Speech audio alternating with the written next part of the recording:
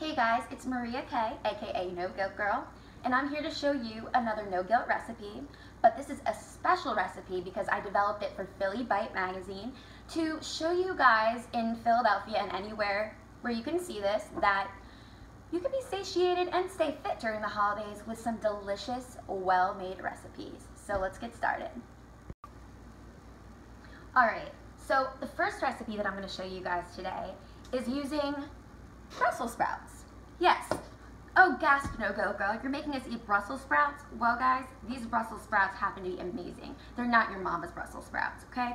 These are roasted, they get caramelized, and they have a nice crunch on the outer leaves, and they lose the bitterness with the caramelization. I'm going to teach you guys how to cook Brussels sprouts like a pro using a pan, which is heating up behind me because you want it to be super hot. But before we put these in the pan, we're going to give these guys some flavor. We're to give them a little uh, toss of salt here. Okay. Um, that's pretty much it as far as these go. Um, I'm also to give them a little drizzle of olive oil because um, the olive oil just imparts a really nice flavor. Give these a little toss. All right, easy peasy. Let's take them over to the pan. All right, guys, so here we have the hot pan.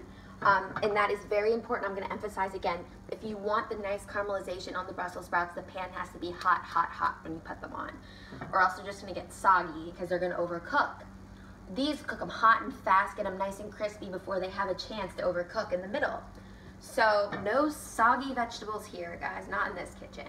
So in this pan, I'm using a avocado oil um, this is a neutral flavor. Um, avocado oil has a high smoke point. Olive oil will burn really fast and it'll just taste like rancid oil. So we're gonna add these guys. You hear that sizzle? We're gonna shake them around. Um, I recommend flipping them to the flat side so they get a lot of surface area with the pan. So if some of them end up on their backs, just give them a little flip over. Be careful for the hot oil hitting you. I just use my fingers because it's easier to grasp the Brussels sprouts flip them over. All right, so we have them in the pan, they're cooking. And you know what, guys? The best way to let food brown is to just leave it alone. Don't be constantly shaking the pan or checking underneath. Leave the Brussels sprouts go. They're not burning.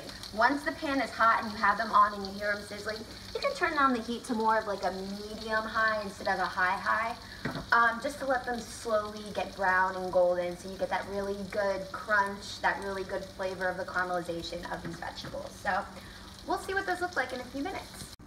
Alright guys, so these have been frying on one side for about between 10 and 15 minutes. Um, this is the kind of recipe that you're going to have to keep an eye on. It's on an open flame. Um, it can go from golden brown to burnt really fast. And so this is around the color that you're looking for. Um, it at this color, it's very toasty flavored. It gets a little crunchy. Um, and it almost has a fried taste, but I only used about a tablespoon, a tablespoon of avocado oil in here. I just spread it around on the pan and kept a really steady heat. Um, but it has a very crispy texture, so it tastes like a fried Brussels sprout, which is amazing because it doesn't have any of the fat. You're getting a little bit of fat from the avocado oil, but it's good fat, so that's, ooh, crunchy. All right, so what we're gonna do is we're gonna finish these guys up in the oven because um, it's gonna be a little difficult to cook the back of the Brussels sprout in the pan because it's round and it doesn't have a lot of surface area. So I'm just gonna stick these guys in a 350 degree oven and I'll see you back in about 10 minutes. Okay, so the Brussels sprouts are still cooking in the oven for about five more minutes. So in the meanwhile, why not make the vinaigrette for the little salad that we put together using the Brussels sprouts? So I didn't have exact measurements because this is a really easy going kind of recipe and everybody has their own preference of their oil to vinegar ratio. So I'm just going to put about, I like less oil and more vinegar, so I'm going to put about a tablespoon of oil in there. I'm going to put about two tablespoons of balsamic vinegar because I love balsamic vinegar. I love that tang. Um, I'm going to add about a tablespoon of honey here, maybe half. Honey's pretty sweet. And I'm to add a little pinch of salt. and I'm just gonna give it a whisk until it's homogenous.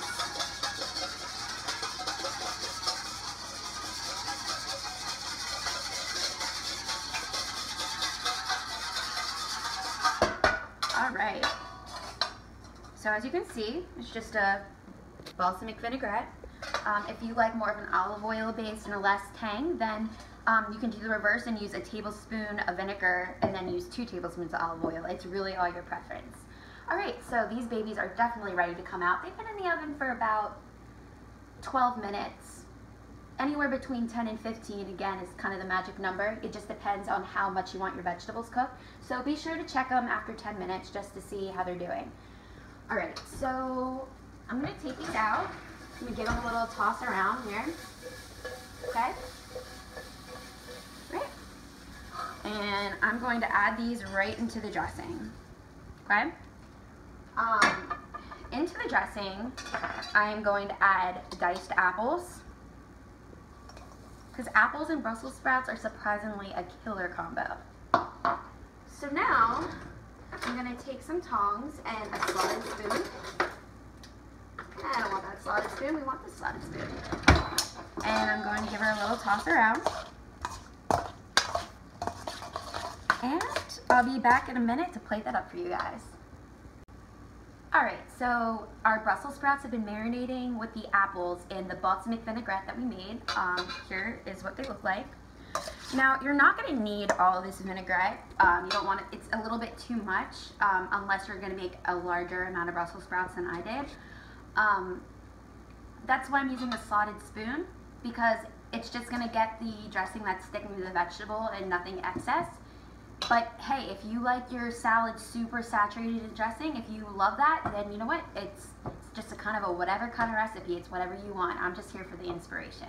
So here we're going to plate it up. Okay. Make sure we get any excess liquid with a slotted spoon.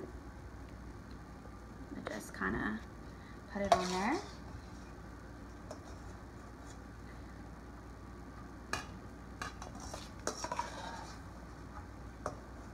Trying to get every single little piece of apple there. All the good stuff. All right. Now, optionally, we have some finishing touches we can put on this.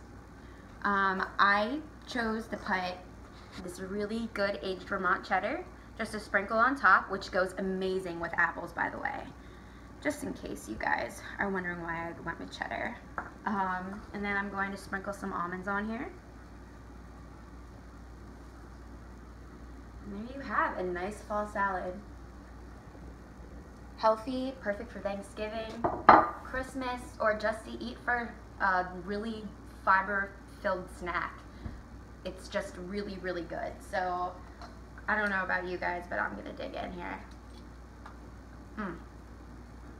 Make these today. Do yourself a favor. See you guys next time.